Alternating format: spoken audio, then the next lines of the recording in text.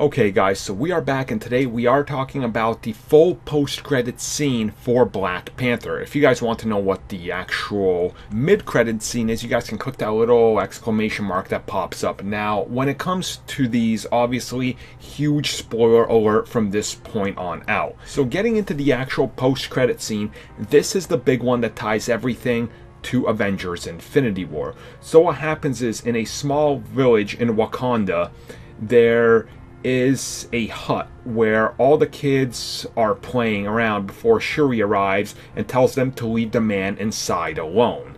They run off, and once she goes inside, she's here to visit Bucky Barnes. Yes, the Winter Soldier is out of his cryo and he's been living in Wakanda. Then, walking out of the hut, we see that he only has one arm. Before Shuri asks him how he's feeling, and he says he's feeling much better now that she's helped him remove the Hydra programming from his brain. She then says that there's a lot more to learn out there, and the two walk off into the distance. And that is the post credit scene. So, quite clearly, a big setup for Bucky Barnes. Now he doesn't have a conflict in his mind or anything. He's ready to do what he needs to. We know he's going to get a new arm courtesy of Wakanda. So, there it is, guys. Um, so, minor little scene setting up Infinity War.